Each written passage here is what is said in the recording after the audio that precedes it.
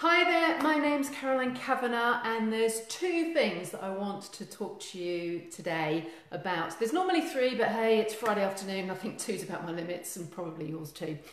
So, the first one is about planning. Now, I'm not really a big advocate of planning, but I'm working with a coach at the moment, and he has been on my back. I've been resisting as much as he pushes. And one of the things that I committed to do in the last planning cycle was to do a live video. Hi Tracy, lovely to see you. Um, was to do a live video once a week. So here we are, end of play on a Friday afternoon, and I am screaming in there because one of the things I think we all hate doing is failing. I'd made that commitment to him to do the video, and I don't want to fail.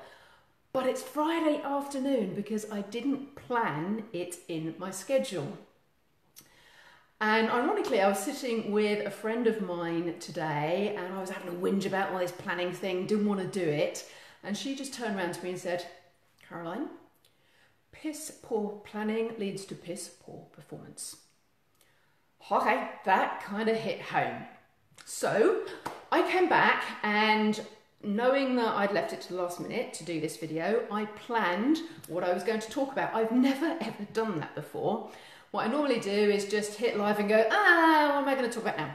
So I have actually planned this out. So please let me know if by planning out what I was going to say actually makes this video better for you because it is all about doing something that helps you because we all kind of need a bit of help at the moment, don't we?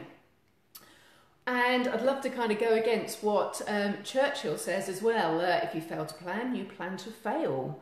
So that leads me really nicely onto number two. Fear of failure. We all have it, don't we?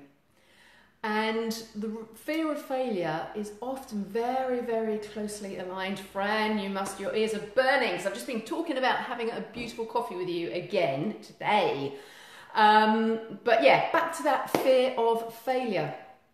Um, it's normally related to a fear of being judged by other people.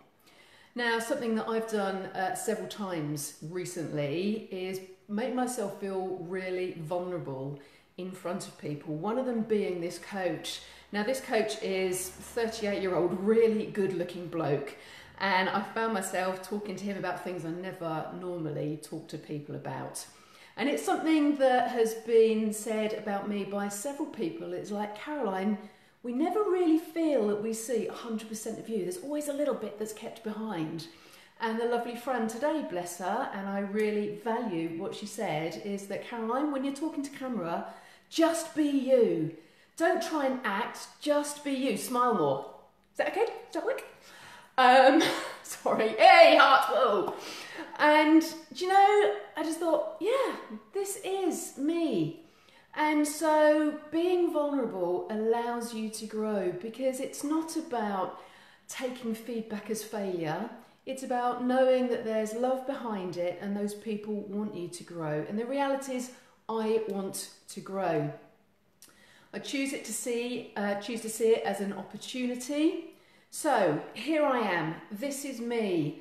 Makeup from what I slapped on at eight o'clock this morning. I have planned what I wanted to say. There are notes here, I promise you.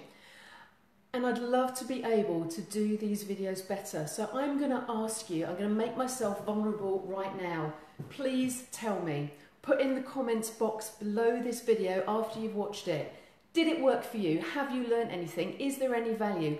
What can I do better so that by planning, I don't fail. Over and out for now. Bye bye.